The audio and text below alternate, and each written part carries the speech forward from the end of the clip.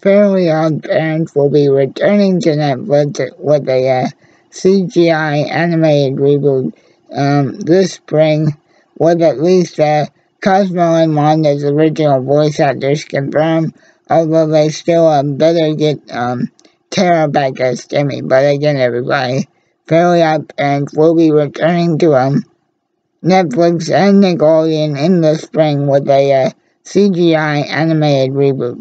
Have a good one.